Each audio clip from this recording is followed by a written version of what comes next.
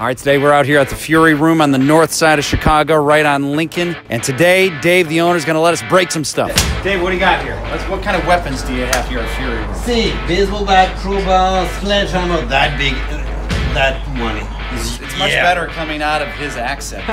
Use a big sledgehammer, I like. so, what are the people usually getting their frustration out on when they come here? Is it Um, a certain thing that's in common? yeah, like a last little dinner, the romantic dinner that didn't go well.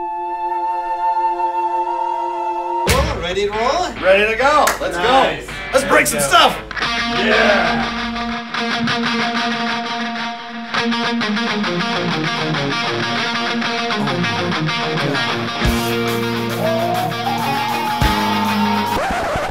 it odd that I'm right across the street from a police station right oh, there? yeah. Look, Chicago police. Like if I went outside, this could be a problem. Get down on the ground.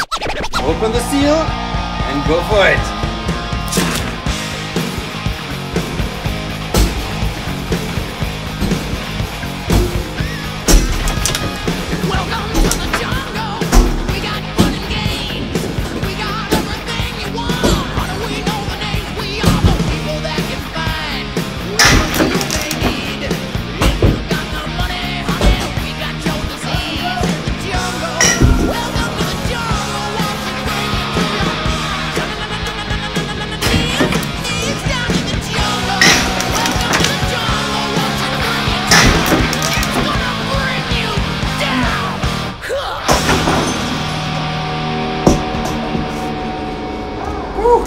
So, uh, Use more energy than I expected on breaking things like that. yeah, My heart's going. alright. It's a good time. And your rage? I, I'm, I'm, I'm rageless right now. No tone of rage at all. I'm all good. I'm nice and calm. Nice. As long as I don't have to clean up everything.